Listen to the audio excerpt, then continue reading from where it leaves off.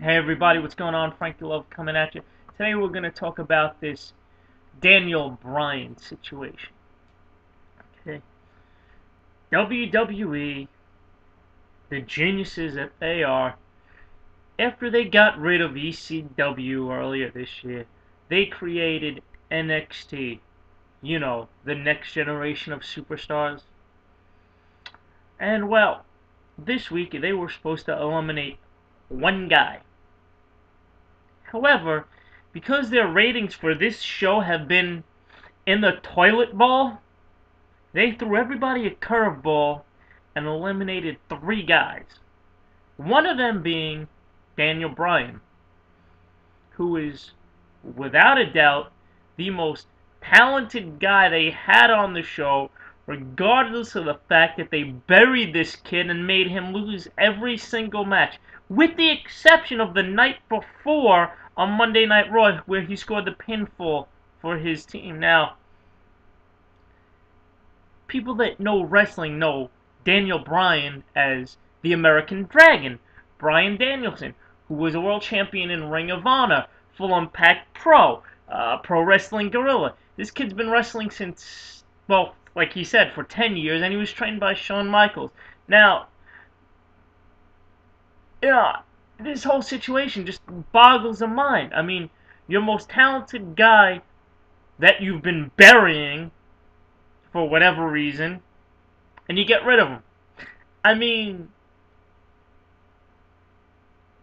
it annoys me because week after week I have to hear David Otunga talk about how great he is and that Jennifer Hus Hudson is his fiance. You know what, David Otunga? Your fiance, Jennifer Hudson, I think she sucks, and so do you. But that's besides the point, okay? The mo like I said before, Daniel Bryan, Bryan Danielson, is the most talented guy they have, and they bury him on this show. But you know what the funny thing is?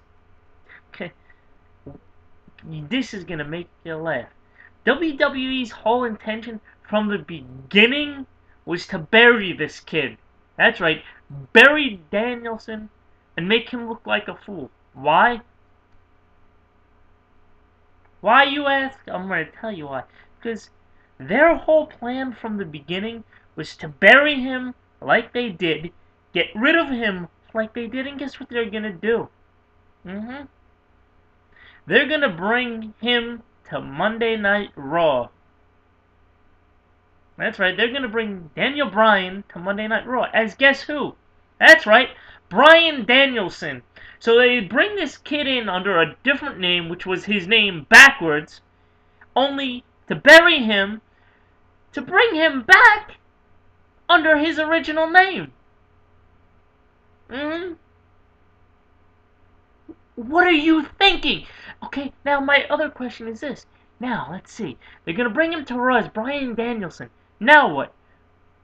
Are they gonna act like he was never around before? Are we gonna supposed to forget that he was Daniel Bryan on NXT? Knowing the powers that be at WWE? Sure, we're supposed to probably forget all that, and he's just gonna be some new guy, Bryan Danielson. Now, what do they have in store for him? Who knows? But I guarantee you, now is when he gets a push he's supposed to get as Bryan Danielson. I don't know maybe they'll eventually team him with John Morrison and put him put him in a tag team feud against uh who else? The Miz and Chris Jericho. Yeah, that sounds like a plan. See now see that's the other thing. I mean, this kid was the rookie and the Miz was his pro. Meanwhile, this kid's been wrestling more than the Miz. Is a better wrestler than the Miz, and I gotta be honest with you, Bryan Danielson is so good. If it wasn't for creative, this kid would probably destroy 95% of the roster that WWE has, including that no talent John Cena. Could you imagine Bryan Danielson just going in there, beating the crap out of Cena and making him tap out? You know what? It could happen. It should happen. But it won't. Why? Because WWE won't do that. Anyway, I just want to update all of you on the ridiculousness of WWE and what they do, taking people for fools. I'm Frankie Love. I'm out. Y'all have a great day. Peace. I've been talking long enough. I'm sick. I'm tired, and I'm I'm not gonna talk anymore about this because it's just pissing me off.